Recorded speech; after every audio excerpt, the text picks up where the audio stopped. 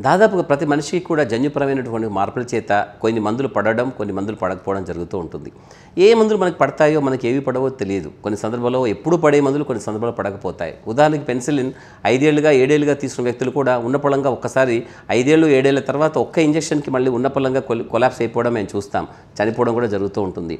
ఎప్పుడు పడతాయి అనుకున్న మందులు కూడా కొన్ని సందర్భాల్లో పడవు. అలా కాకుండా ప్రతి టాబ్లెట్ ఏదైతే మనం తీసుకుంటామో నోటి ద్వారా కానీ ఇంజెక్షన్ రూపంలో కానీ అది శరీరానికి శరీరం దానికి స్పందిస్తుంది కాబట్టి ఏదో ఒక అవయం మీద దాని ప్రభావం ఉంటుంది. దాదాపుగా మనం ఎప్పుడు కూడా దాని మంచి ప్రభావాన్ని మనం ఆశిస్తాము. ఒక యాంటీబయాటిక్ తీసుకుంటే యాంటీబయాటిక్ ఇన్ఫెక్షన్ చనిపోవాలని కోరుకుంటాము. అంతేగాని యాంటీబయాటిక్ మనకి ఇంకో విధంగా హాని చేస్తే చేసే అవకాశం ఉంటుందని మనం ఊహించాం. కానీ అలా జరిగే అవకాశం కూడా తప్పకుండా ఉంటుంది మనం ఊహించకున్నా కూడా. కాబట్టి ప్రతి మందు నోట్లో వేసుకునే ప్రతి మందు కూడా మనమే జవాబుదారీ కావాలి మనమే సంజాయిషి ఇచ్చుకోవాలి. కాబట్టి తప్పనిసరిగా ఏ టాబ్లెట్ అయినా వేసుకున్నప్పుడు అది మనకి ఎంత అవసరమో అని చెప్పి ఆలోచించాలి. డాక్టర్లు దాదాపుగా మీ అవసరాన్ని బట్టి రాస్తూ ఉంటారు. కాకపోతే కొన్ని సందర్భాల్లో పేషెంట్స్ మర్చిపోయేవాడిని అనేక సందర్భాల్లో మళ్ళీ మళ్ళీ అవే లక్షణాలు ఉన్నాయి కాబట్టి మళ్ళీ అవే మందులను వేసుకుంటూ ఉంటారు. చాలా సందర్భాల్లో కడుపు నొప్పికి ఇచ్చే గ్యాస్ కోసం ఇచ్చే మందులకి యాంటాసిడ్స్ అలాగే యాంటీబయాటిక్స్ ఇటువంటి నిరాదరణకు గురవుతూ ఉంటాయి. ఇక్కడ చాలా సందర్భాల్లో డాక్టర్ల పర్ పర్యవేక్షణ లేకుండానే డాక్టర్ల సలహా లేకుండానే మళ్ళీ మళ్ళీ వేసుకుంటూ ఉంటారు. యాంటాసిడ్లు యాంటీబయాటిక్లు చాలా వరకు కూడా కిడ్నీలను పాడు చేస్తూ ఉంటాయి. పెయిన్ కిల్లర్స్ కూడా ఈ కోవకు చెందినవే. ప్రపంచవ్యాప్తంగా కూడా ఒకప్పుడు కిడ్నీలు పాడవడానికి పెయిన్ కిల్లర్సే ప్రధాన కారణం అనుకుంటూ ఉంటే ఇప్పుడు వాటిని మించి కూడా గ్యాస్ మందులు ప్రోటాన్ పంప్ ఇన్హిబిటర్స్ అనగా ప్యాంటప్రజోలు ఎసమప్రజోలు రాబిప్రజోల్ ఇటువంటి రకరకాల మందులు కూడా కిడ్నీలను పాడు చేస్తున్నాయి. ఇవి కేవలం కిడ్నీలను పాడు చేయడమే కాదు ఇతరత్ర అనేక గందరగోళాలు కూడా శరీరంలో జరగడానికి కారణభూతం అవుతున్నాయి. కాబట్టి ఎంత వీలైతే అంతవరకు తగ్గించుకోండి. నా మట్టుకు నేను ఎంతో మందిని చూస్తాను. ఐదేళ్ళు ఆరేళ్ళు ఏడేళ్ళుగా కడుపు నొప్పి గ్యాస్ అని చెప్పి పొద్దుట్లు నా టాబ్లెట్ వేసుకో వేసుకుంటారు.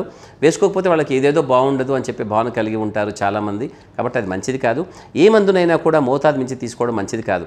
మందులు ఎందుకు? దాదాపుగా మనం తాగే మంచినీళ్ళైనా ఆహారమైనా కూడా చివరికి పండైన ఫలమైనా కూడా మనం మోతాదు మించి తీసుకుంటే హాని చేయగలుగుతుంది. కాబట్టి కృత్రిమంగా తయారు చేసినటువంటి ఇటువంటి మందులతో హాని జరిగే అవకాశం ఉంటుంది. కేవలం మనకు అవసరమైనంత మేరకే వాడుకోవాలి. దాదాపుగా ప్రతి టాబ్లెట్కి ప్రతి ఇంజెక్షన్కి శరీరంలో కేవలం కిడ్నీయే కాదు లివర్ కానీ గుండె కానీ నరాలు కానీ ఊపిరితిత్తులు కానీ అలాగే లివర్ కానీ ఇటువంటి అవయాల అవయవాల మీద ప్రభావం ఉండే అవకాశం ఉంటుందని చెప్పి మనం అనుకోవడం చాలా మంచిది.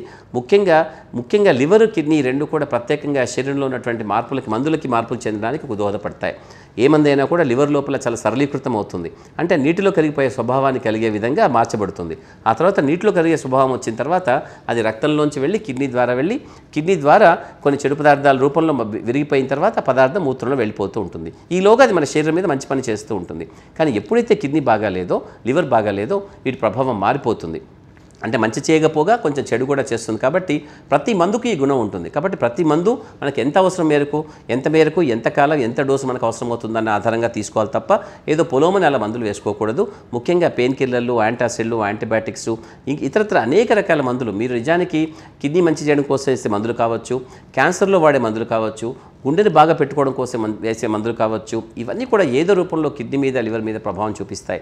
ముఖ్యంగా ప్రత్యేకంగా కిడ్నీ మీద ప్రభావం చూపిస్తాయి కాబట్టి కిడ్నీ జబ్బు ఉన్నటువంటి వాళ్ళు కిడ్నీ జబ్బు వచ్చే అవకాశం ఉన్నటువంటి వాళ్ళు ముఖ్యంగా షుగర్ ఉన్నవాళ్ళు బీపీ ఉన్నవాళ్ళు స్థూలకాయలు స్మోకింగ్ చేసేవాళ్ళు కుటుంబ సభ్యుల్లో ఎవరికైనా కూడా కిడ్నీ జబ్బు ఉన్నటువంటి వాళ్ళు అనవసరంగా ఎప్పుడు ఏ మందు కూడా వేసుకోకూడదు. కాబట్టి తప్పనిసరిగా డాక్టర్ల పర్యవేక్షణలో మాత్రమే ఎంత మేరకు వేసుకోవాలో తెలుసుకొని మరీ వేసుకోవాలి.